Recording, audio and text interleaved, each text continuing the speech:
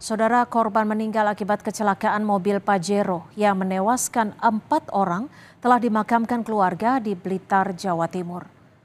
Menurut keluarga, korban telah dimakamkan pada minggu pagi setelah tiba dibawa menggunakan ambulans pada minggu dini hari.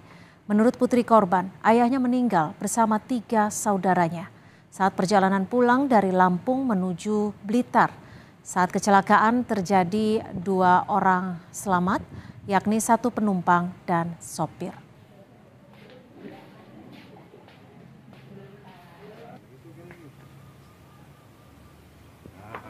Tadi malam datang itu setengah satu.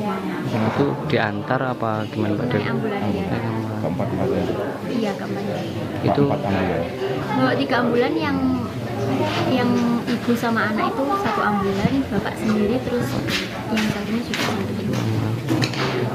Itu langsung dimakamkan atau bagaimana Mbak? Eh, kalau tadi malam disolatkan Disolat dulu. kan di masjid kan tidak berhenti, cuma berhenti melihat melihat aja Hmm. habis itu dibawa ke masjid masjid besar daerah sendiri disolatkan terus dimakamkan tadi pagi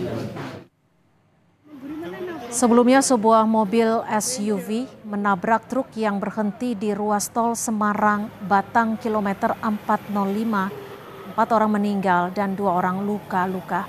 Dari rekaman video amatir, kerasnya benturan membuat mobil SUV yang menabrak truk parkir di tol Semarang Batang kilometer 405 rusak parah. Bahkan badan mobil terbelah menjadi dua bagian. Akibat kecelakaan, empat penumpang mobil SUV meninggal dunia dan dua orang terluka.